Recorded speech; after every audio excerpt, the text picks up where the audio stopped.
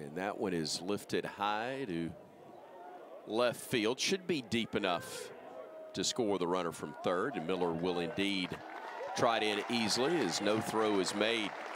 They do keep the runner at second base, though, with two gone. And Bama gets on the board first, 1 nothing.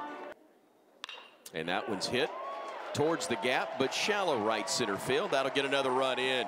Petrutz scoring easily, heads up base running on the part of Mizell, able to head to second as that one was bobbled in right field. That'll be an E9 charged. Roped to right field, that'll score a pair. Crossing easily will be LeBron. Right behind him is Miller, and heading to third with no throw will be McCants.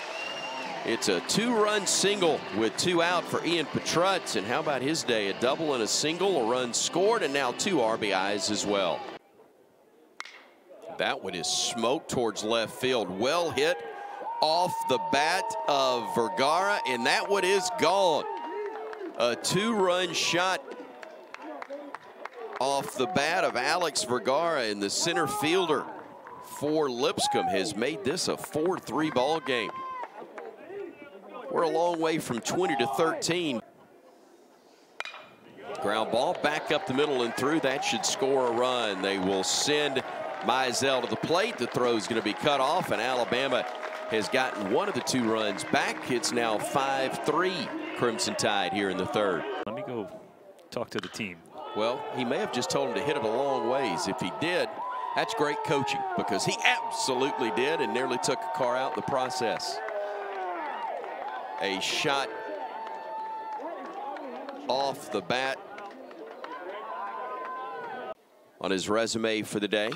And that could drop in. Looks like it will. Base hit. Scoring the runner from third, Eblin. Everybody else moves up 90 feet. It's RBI number three on the day for Ian Petrutz, and Alabama pushes the lead now to 7 to 4. Base is juiced one out and hits that one right through the whole left side. May score two. They'll send McCants right behind Miller. It is indeed a two-run single off the bat of Evan Sleight. I'm not sure the last two hits would have broken a pane of glass for Alabama, but they got the job done as it's now a 9-4 Bama advantage. Who had the home run earlier. Gets a ground ball to Hodo, and that will do it. Well, very quickly and quietly, the Bisons go in the ninth, and Alabama does indeed get the sweep of the team from Nashville with a 10 5 victory.